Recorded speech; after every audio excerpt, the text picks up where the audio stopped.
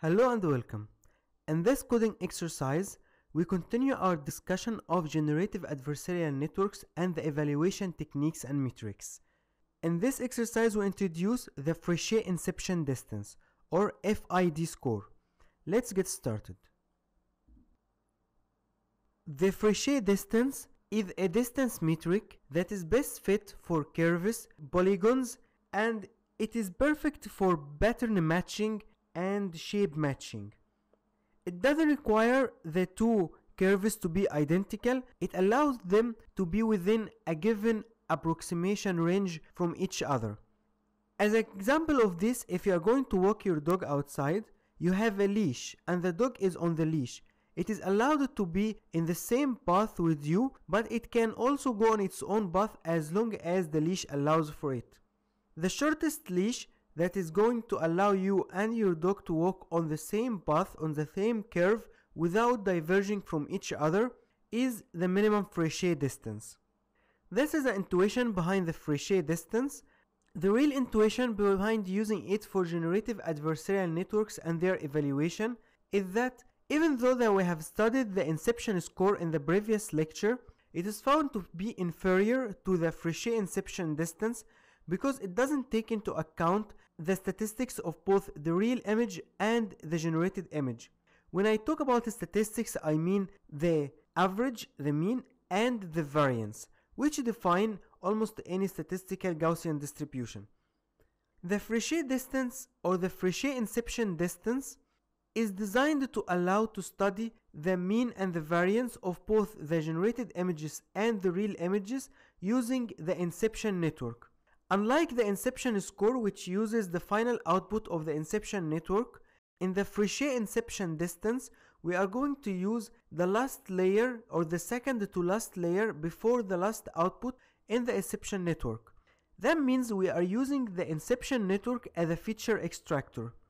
A very common concept in deep learning is called representation learning. It was found that in deep architectures such as AlexNet, VGG, ResNet, and Inception Network, some particular layers are valid as feature extractions because all of the convolutional layers in the network they learn different features such as curves, eh, corners, edges and so on of the input image. And then they keep on accumulating this knowledge in a hierarchical topology from the lower layers up to the higher layers in the network till we arrive at a flattened vector which is a valid feature representation that maximizes the intra-class difference and minimizes the inter-class difference, meaning that images for the same object will have similar features and images from different objects will be very far from each other according to this feature representation. You can think of it as similar to PCA or principal component analysis for feature reduction where we try to project the input features to different coordinates that try to maximize the difference between the features and allow us to have linear decision boundaries between the classes. So the idea of Frechet inception distance is that we are going to use the statistics of the mean and the variance of the features learned by an inception network on both the real images and the generated images. And then we calculate the Frechet distance between these using these statistics. Let's put it into a mathematical formula here we have the mean mu r which is the mean of the real images and mu of j the mean of the generated images. Of course here I say the mean of the feature representation of these images. We subtract them and then we have the square product of uh, mu r and mu j difference. And then we have a new operator tr which is the trace operator. It allows us to take the sum along the diagonal of a matrix and since this operator is applied to the variance, the variance here is taken for the representation of the real images and the generated images. So because we know that the variance matrix is diagonal, we take the sum along this diagonal. Then we take the product sigma r multiplied by sigma j. And then we take the square root multiplied by 2 and subtract from sigma r plus sigma j.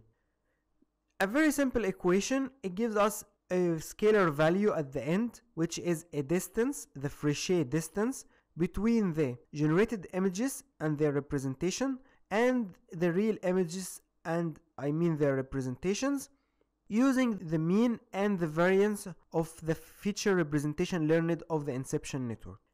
Let's see how this can be applied using PyTorch. You can find the notebook associated with the section materials and it will has the title evaluation metrics FID score and of course the source where the source code is being benchmarked on. So we need a mechanism by which we take the output of the second to last layer in the inception network. The code over here defines a new partial inception network that inherits from torch.nn.module and then it initializes the pre-trained inception version 3 network and it defines the layer with the title mixed underscore 7c which is actually the output from the last block of the inception network just before the final layer or the output layer and then it defines a hook because by default and I ran into this error a hook that allows the PyTorch internals to give you the output of this internal block directly when you pass the inputs through the forward method. It is a syntactic sugar so that you can apply the output on an intermediate layer of the network. Then inside the forward path, we pass the inputs through the inception network and that will activate all the outputs. We extract the output we're interested in which is self.mixed underscore 7c underscore output and put it in a variable activations and this output will have the shape n with the number of patches multiplied by 2048 channels by 8 by 8 and then we need to reduce that to 1 by 1 so that we have only 2048 or 2048 which is actually an ideal representation vector for any image that passes through the network. You find similar concept in AlexNet and VGGNet and ResNet and so on. So in order to reduce the dimension we use average pooling 2D. We pass the activations through the average pooling. We pass the activations through the average pooling of kernel size one by one and then we view the output vector, the output matrix or tensor using activations.view with the first parameter saved for the batch size and then 2048 which is the number of features in each sample or each image. Then we return the outputs and start creating a new object of this partial inception network and define a method FID score which will perform the actual calculations of the Frechet inception distance. So unlike the inception score we did in the previous lecture, in this one we'll have both the real images and the generated images passed to the FID score method. We accumulate the results or the representations of both the real and generated images in two lists real underscore activations and gen underscore activations. We loop over the number of steps in the dataset given. For simplicity, the number of steps here will be 1 because I'm passing at a later step only one mini batch. But I encourage you to try with uh, larger samples and see if it is computationally feasible because technically what I found through these two exercises is that the evaluation metrics whether it is inception score or FID score, they are both computationally demanding and require a lot of computing resources. And taking into consideration that you have to do these evaluations after every epoch or every 10 epochs of training the network, which is itself is two networks, the generator and the discriminator. So it is a little of a headache to add it with every exercise you are going to do with GAN, but it is a necessary evil that you must work with because it gives you an objective evaluation metric for GANs, unlike the subjective manual inspection of every image that is generated by the network.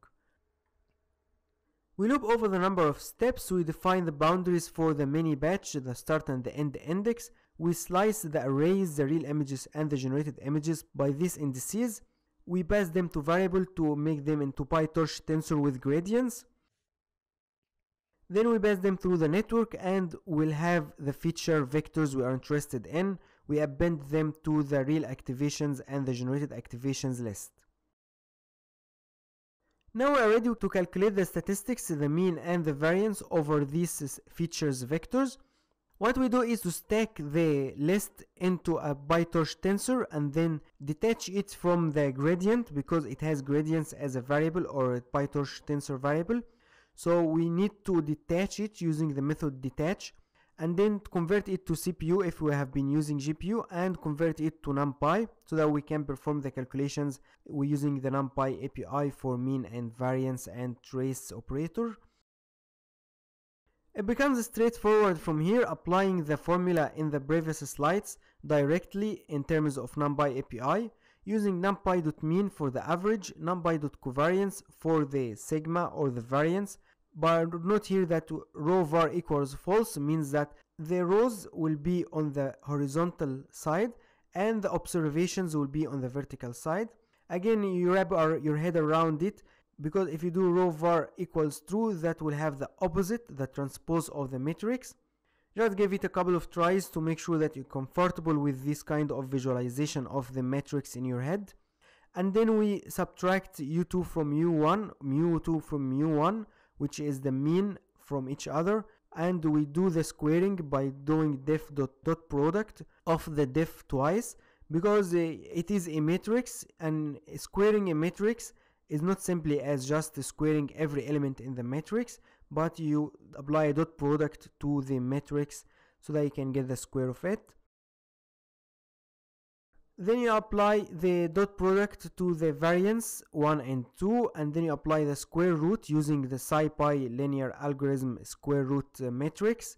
This way you will have uh, the square root applied correctly to the matrix and display equals false will allow you to return the errors if any and I have ignored it using underscore. And sometimes the square root in this case will be a complex number with imaginary part. We can get rid of it if it exists and we uh, do that using square root underscore product dot real which returns the real part of the imaginary object.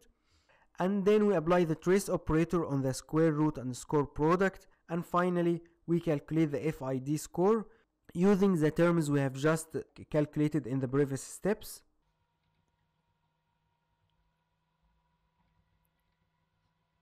So using the terms we have calculated in the previous steps, we apply the numpy.trace operator on the S1 the variance of uh, the real images numpy.trace on S2 the variance of the generated images minus 2 multiplied by the product underscore trace which we have just calculated and we sum the difference and return the overall FID score. Next I need to test this method on some real and generated images from our model. So we get a batch from the, the train loader convert it to the device CPU or GPU and then reshape it to 28 by 28 repeat the RGB channels upsample the image 299 by 299 and do the same for the generated images by applying the generator on the fixed noise vector. Do the same steps and finally pass the real images and the generated images to FID score method and get the score and print it. Here we've got 140 Please note here, unlike the inception score in the previous lecture, where a small value meant a bad generator model and a higher value meant a better model, in this case, the FID score, a small value near zero is the best. A larger value is bad. So they are opposite to each other. Don't be confused by that. Also one more thing, the inception, the Frechet inception distance FID is more sensitive to variance it means it will encourage you to have a better evaluation whether the image generated has high variety of classes and objects in your dataset. So it is actually even as recommended on Twitter by the inventor of the generative adversarial networks, Ian Goodfellow. He also thinks and believes that FID is superior to the inception score which he has contributed to the authoring of the paper of it himself. Again, if you are interested in reading more about this topic, you will find the original paper as referenced on the screen. The appendix A1 is the one concerned with the Frechet inception distance FID because the rest of the paper discusses a new technique for training generative adversarial networks and the FID score is only a secondary contribution of the paper so cut it short and get to appendix A1 if you are specifically looking for the FID. You can also read the rest of the paper to help you understand better the other ideas and methods existing in the area of GANs. I would like to share with you for inspiration a new paper published using deep reinforcement learning and generative adversarial networks together to teach in an unsupervised way uh, the computers to draw and bend from real images or uh, portray images and it is done completely unsupervised. And if you scroll down here you can choose any of the images in this dataset I would show you how it arrives at bending it and learning how to do doodles in a, in a nice interesting way. So this is an inspiring idea, inspiring topic where it merges both reinforcement learning and generative adversarial networks to promote the unsupervised learning of such skills and it can be applied to robotics, it can be applied to game rendering, it can be applied to many potential ideas and the paper I believe is done by DeepMind which is part of Google Alphabet. I hope that was inspiring, thank you and see you in the next lecture.